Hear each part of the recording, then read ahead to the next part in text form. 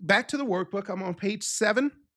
You'll notice that everything is labeled here for you. I want to make sure that you get the story down. So make sure you review this. Now, the next thing we're going to go into, the next topic is cardiac conduction. All right, so let's see. What are we talking about here?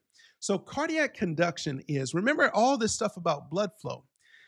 In order for the heart to, to contract, so, what we have to separate is, for instance, the electrical situation from the mechanical.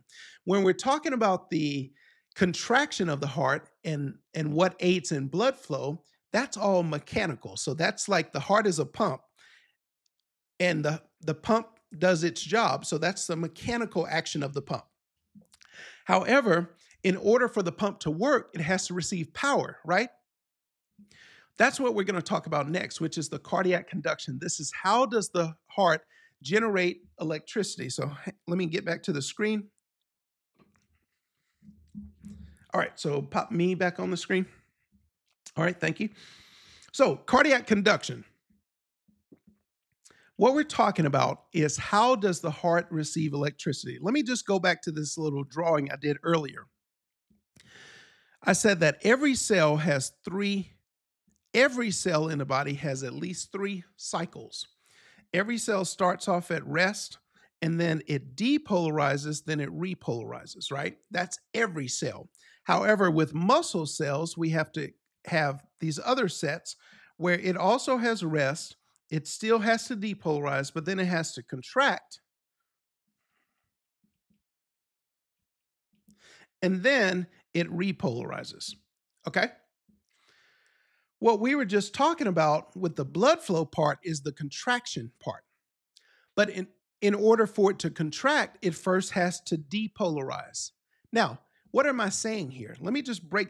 Actually, we're going to cover that. Um, yeah, we're going to cover that a little further. So let me just keep going for now, and then I'll get into the physiology that's coming up eh, also in today's lesson. When it comes to the cardiac conduction, what we're saying is how does the heart receive power to do its job? How does the heart receive electricity to do its job? So here's the big picture of cardiac conduction. We have these specialized cells in the heart that are called pacemakers.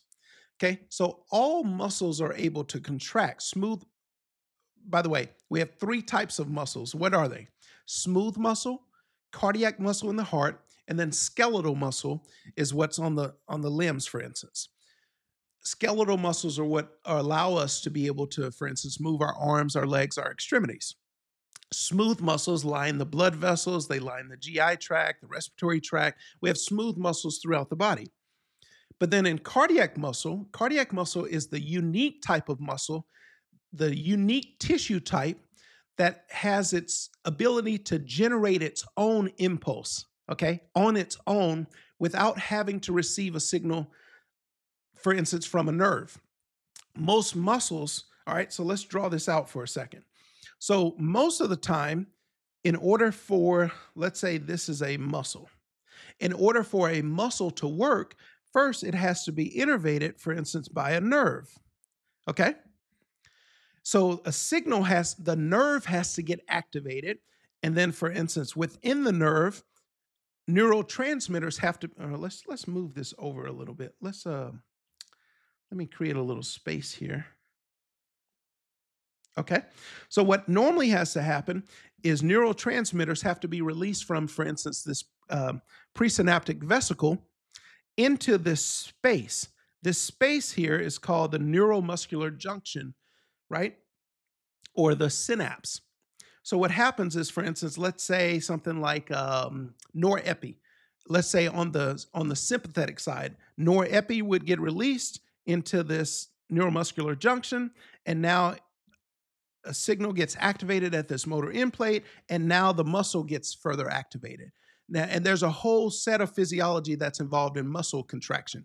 And so I'm not even going into that just yet, but just know I'm going to just generically say it's calcium, but there are a whole lot of steps. For instance, from from calcium binding at these sarcol. All right, this is just bonus. Stay with me for a minute. All right, this is just to give you a break. So, for instance, muscle contraction, that's what I'm talking about now.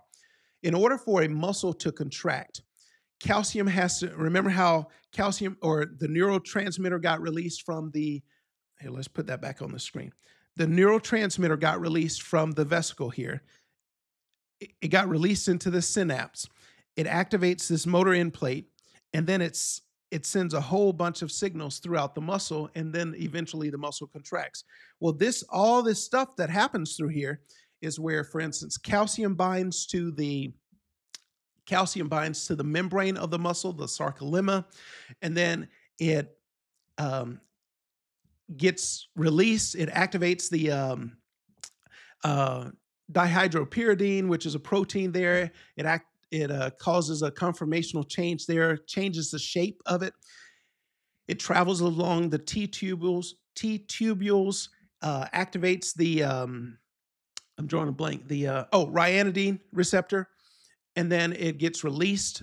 So we have this whole situation of calcium induced calcium release then calcium binds to troponin or it binds to specifically troponin c of the tropomyosin complex. That's where actin and myosin interact cause a power stroke and then that causes contraction right? So that's a whole lot of steps. That's a whole lot of stuff. And that that's going to take a little more time to go into than i have today. But in the mastermind i'll cover that in greater detail but basically, I want you to know that the way muscles contract is because of calcium. Okay, can we just can we go with that for now? The way muscles contract is because of calcium. In fact, what makes the muscle contract is where calcium goes into the cell. But what makes the muscle relax is where ATP comes along, adenosine triphosphate, for instance, right? Well, this is why when someone dies and they they have calcium that went into the cell, but because they died, the mitochondria are no longer able to make ATP. The muscle is not able to relax. So, this is what actually causes that stiffening of the body that we know as rigor mortis that happens hours after death. It's just because calcium went in and caused the muscle to contract, but there was no ATP to cause muscle the muscles to relax. Okay, that's just a little extra to tie it all in together back to this part though, when it comes to, so all I just explained was the muscle contraction, and that is the part of blood flow. But in order for the muscle to be able to contract, the muscle has to get excited first, and that's the depolarization part. Okay? So I said that most cells in the body or most muscles have to be innervated by a nerve first, and then that's what allows the muscle to get activated and contract. The cardiac tissue, on the other hand, is able to kind of bypass that whole process and generate its own impulse within the heart itself. That situation is known as automaticity.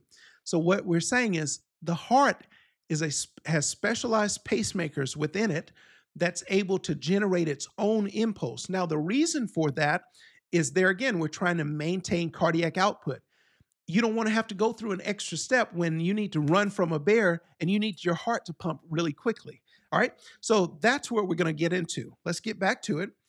When it comes to this first picture here, so I'm on page eight of your workbook. This picture I want to draw your attention to. We're going to use this one picture over and over and over again. So every single day, you're going to see this one picture come up. The reason for this is the reason I use pictures so much is number one, it's the best way for you to learn. Okay. Think about it. The brain thinks in terms of pictures. Like when you dream, you dream in pictures. You don't dream in words, right? If I say right now, think about your front door of your house. You actually picture the door. You didn't see the words or the letters F R O N T D O O R. If I say, think about your car, you think about the vehicle itself. You're not thinking about the letters C A R. Well, it's the way the brain works. We think in terms of pictures. The other reason you see me draw so many pictures is I want you to understand how to, I want you to understand the information for yourself, and then I want you to know how to explain it to your patients. Okay. Think about the next time you do something to a patient. You should never just do something to a patient without explaining what you're doing. Well, one of the best ways to explain things to a patient is to simply draw a picture. In my two decade career in healthcare, I have drawn a lot of pictures. For instance, when I was on an ambulance, when I was on a helicopter as a flight paramedic, um, throughout my journey in medical school, when I'm working in the emergency room, I always would keep a Sharpie on me in my pocket or in my flight suit or whatever I was wearing. And I would draw, for instance, on a bed sheet, on a paper towel. I'd go over to the window and start drawing. I would just draw all the time. in fact, I did this so much that I I designed my own little flip chart, a spiral bound little pocket sized notebook. Sorry about that. I designed, I'm getting excited over here.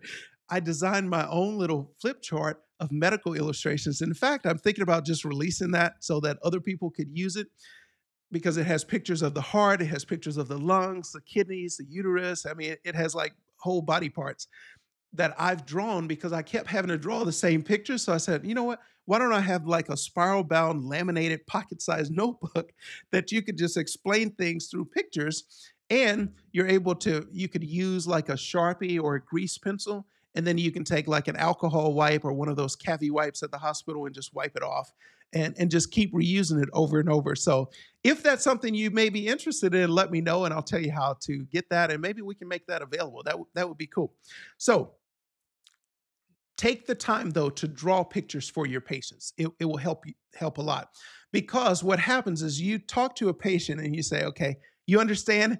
and what they do, they shake their head like 17 times. No, they don't understand. If they shake their head that many times, they don't understand. One of the best things that you can do, in addition to drawing pictures for your patient, is say, okay, here's what I'm going to do. I'm going to explain this to you, but I want you to pay attention because I'm going to ask you to repeat it back to me. So you will tell them, and then you're going to ask them what did you say? And then have them tell it back. So it's that whole ask, tell, ask situation. Okay? All right, let's get back to it. When it comes to cardiac conduction, we have these, the chief pacemaker is called the SA node. It's known as sinoatrial node. Okay?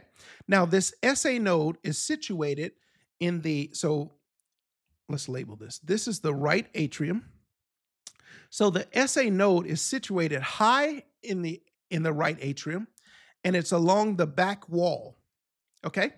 So it's superior posterior. Okay? So it's high toward the back of the right atrium. That's where the SA node is located. Okay? Now the SA node and I'll get to the the rates next. But the SA node first the signal lands on the SA node. And that's in the right atrium. But we don't want just the cells in the atria to get excited. So what happens is we need these sig- we need these cells all throughout the atrium to get depolarized to get excited at the same time. Well, how does this work?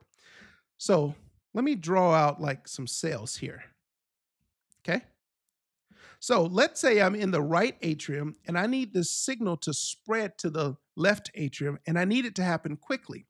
See, I don't want just one cell and then the next cell and then the next cell happening or getting excited one at a time. I need it to happen like a wave very quickly. Well, that's exactly what happens. When we were designed, we were so intricately designed that there are these gap junctions between the cells, and that's what allows this wave of depolarization to spread through rapidly and it allows all of those cells to kind of receive an impulse about the same time. Okay? Now, why is that important though? There again, if one cell had to depolarize at a time and we have hundreds of thousands of cells there, it would take a long time for all that muscle to get excited, to depolarize, and then be able to contract. You would die before then. you wouldn't have enough cardiac output. So that's why those gap junctions are there, is to allow that wave to happen quickly. Now, when I say depolarization, what am I talking about? Depolarization is the flow of positive charge into a cell. So at rest, let's go back to this, this uh, example here. Remember how I said, and this is going to come up soon, first the cells are at rest, then they have to depolarize, and then they repolarize. Except in muscles, they're at rest, they depolarize, they contract, and then they repolarize. So this first part is all cells, and this next part is muscles. Okay? Well, this depolarization part, all we're saying is that the inside of the cell becomes very positive. What is depolarization again? It's where the inside of the cell becomes more positive. Okay? At first, at rest, the cell, the inside of the cell is very negative. Then it becomes more positive, and then it has to become negative again. Everybody good with that part? All right, so let's get back to it. So, in order for all of these cells to become more positive or depolarize, first the impulse lands on the SA node, and then it travels from the right atrium to the left atrium through what's known as the Bachmann's bundle. So, this portion here is the Bachmann's bundle. But then the SA node says, hey, I need it to go to this next pacemaker. I need to pass off the signal to the next guy in charge. That next person in charge is the AV node. The next pacemaker is the AV node. The AV node is also situated in the right atrium, but it's close to this interventricular septum. Okay? So, there again, we said the SA node is situated high, so superior, and toward the back, so posterior, so supero posterior in the right atrium. The AV node is much lower down. It's what's called inferomedial. So infero toward the bottom, medial toward the middle. It's inferomedial in the right atrium no, near the interventricular septum. Everybody good with that? So the signal goes from the SA node to the AV node through what are known as the internodal pathways. Let me get a drink really quickly. Do you have your, your level up medic water bottle yet? If not, Make sure you get that.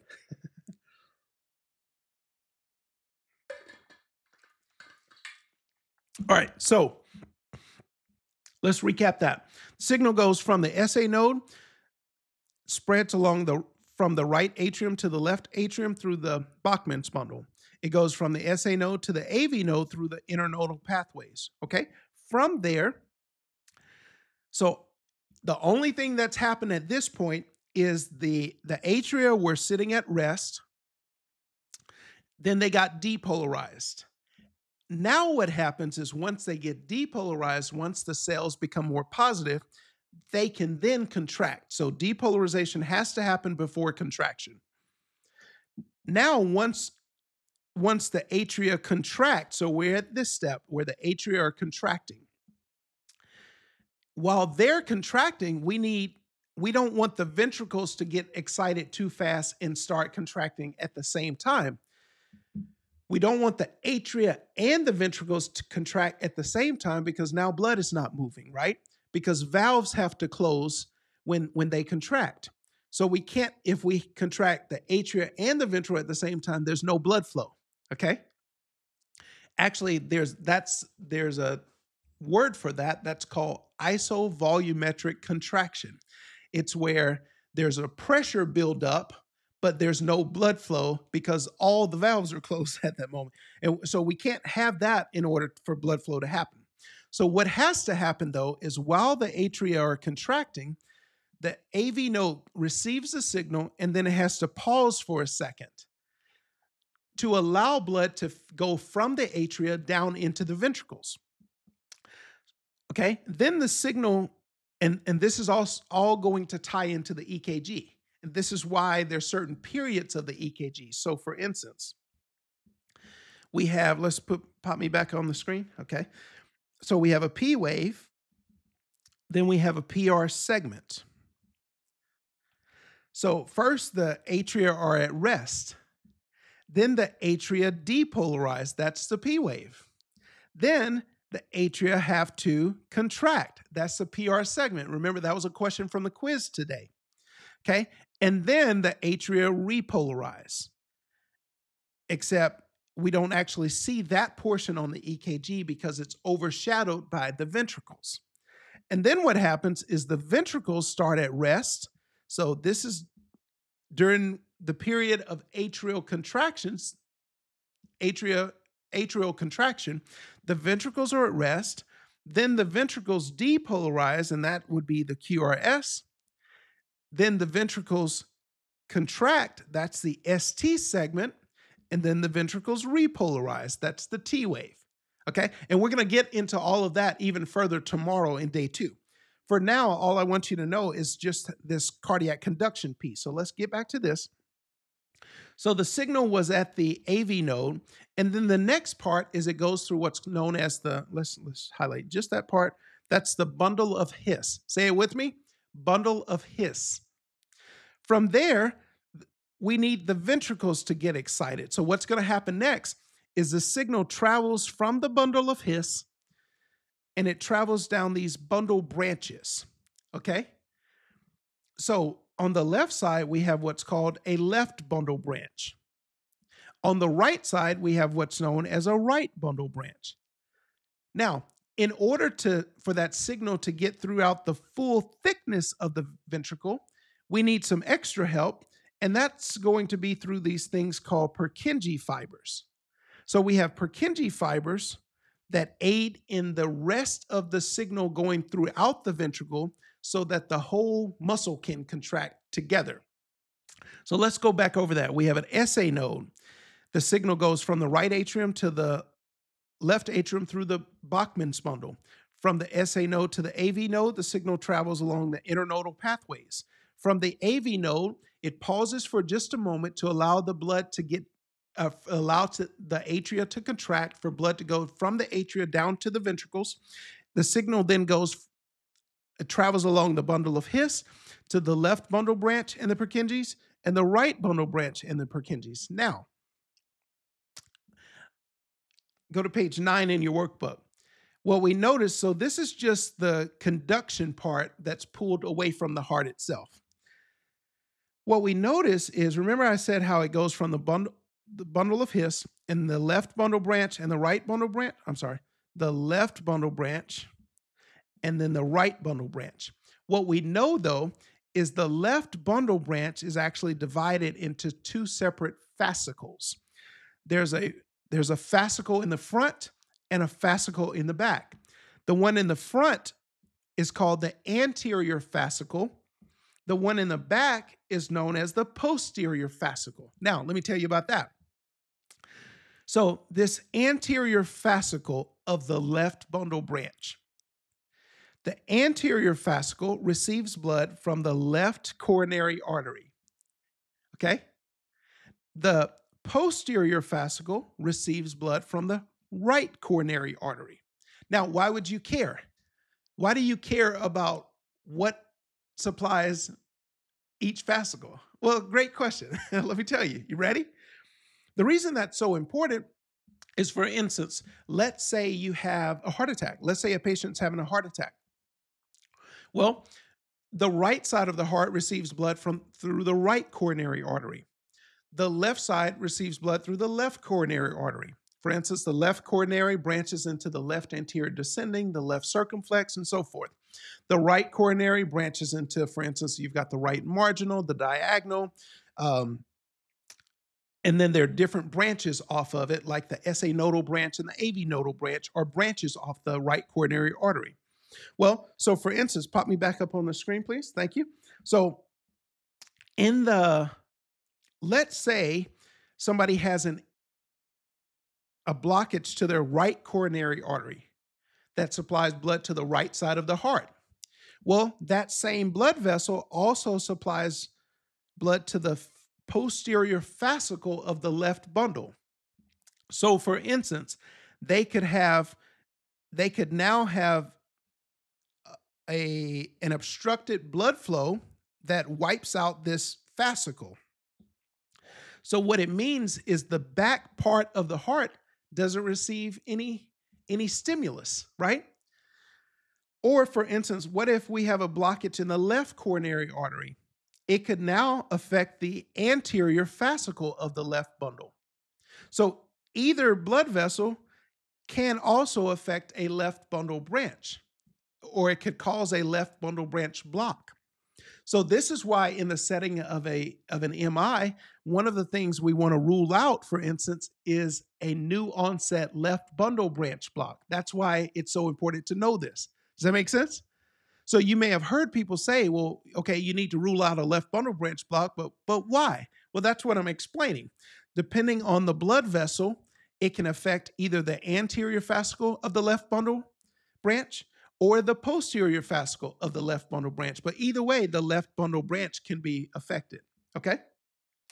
Make sure you know this. So let's just, here's just a simplified drawing without all the labels. So I want you to know we have an SA node, we have a Bachman's bundle, we have internodal pathways, an AV node, a bundle of His, we have a right bundle branch and Purkinje's, we have a, uh, this is bundle of His, we have a left bundle branch, also we have the Purkinje's, but remember that the the left bundle is broken down into two fascicles. We have an anterior fascicle and we have a posterior fascicle. The anterior fascicle is supplied by the left coronary artery, and then the posterior fascicle is supplied by the right coronary artery. Okay? Any questions on that? So that was cardiac conduction. Now, I also have a picture on page 11 of all of this kind of labeled out for you. Just make sure you go back over this. And I definitely encourage you to watch these videos more than once. Tell your friends about it. Tell your friends all that you're learning, for instance. This is just day one of the EKG Mastery Challenge, and we've got so much more to get to.